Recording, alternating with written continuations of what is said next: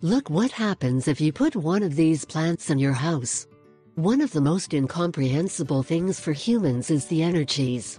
Each one of us gives off good and bad energies according to their feelings and emotions. But what are the energies really? Well, they are intangible sensations that can attract or repel certain elements in your life. They are almost imperceptible, although there are some people with the gift of manipulating them.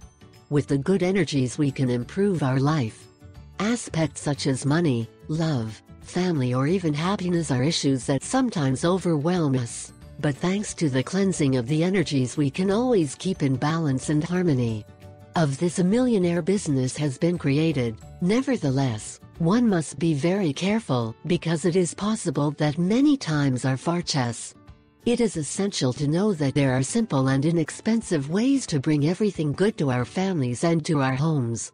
Methods like Feng Shui or other ancient arts that are based on placing objects in your home are some of the most effective ways to always have the good around us. Today we come with several plants that can bring good energy to your house. 1. Strawberries. It will only be enough that you put the leaves of this appetizing fruit and some paltos distributed in your house in a decorative way so that you attract the happiness to your surroundings. 2. Romero. It stimulates the lust and the energies of love. In addition, it can improve your memory and your mood. 3. Lucky Bamboo. It is fantastic to attract good luck, prosperity and abundance. 4. Orchid.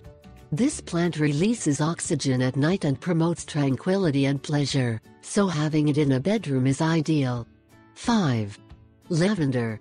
Experts of the subject recommend sprinkle a little lavender on your pillows to have a pleasant sleep. This plant proposes tranquility and peace.